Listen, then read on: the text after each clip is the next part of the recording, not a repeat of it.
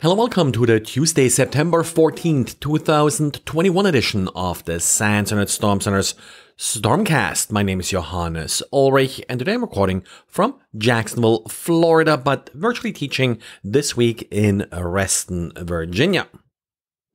Apple today released updates for Safari, for macOS Catalina, macOS Big Sur, Apple Watch, iOS, iPad OS, and these updates are fixing two critical vulnerabilities that have already been exploited in the wild.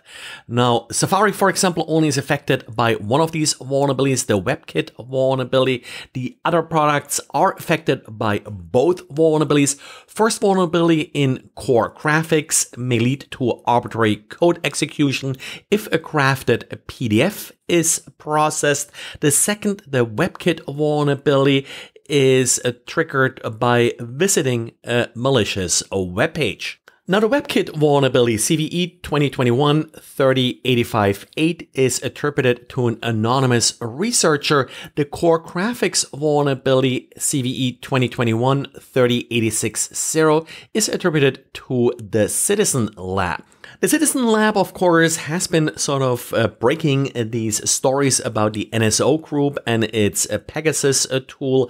This uh, vulnerability is apparently related, and the Citizen Lab has published a blog post with additional details about the malicious uh, PDFs that they have seen attack a phone owned by a Saudi activist.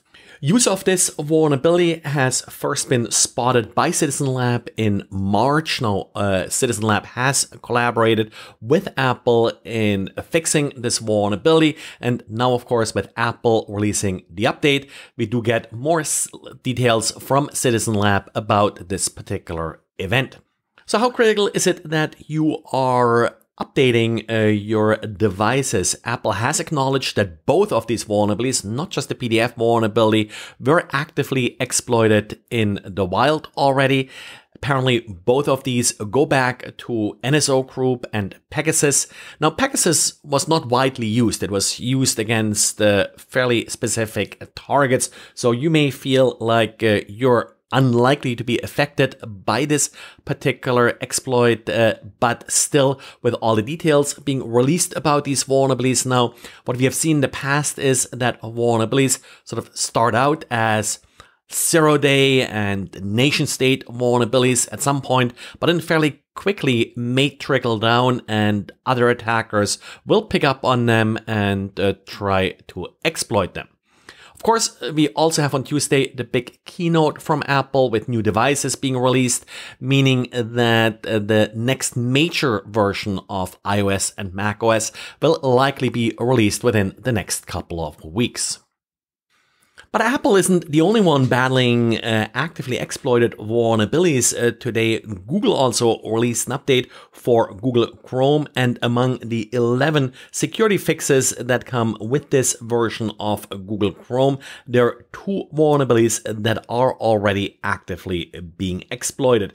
According to the release notes that uh, came with this update, and we're now at version 93.0.4577.82. This affects Windows, the Mac, and Linux.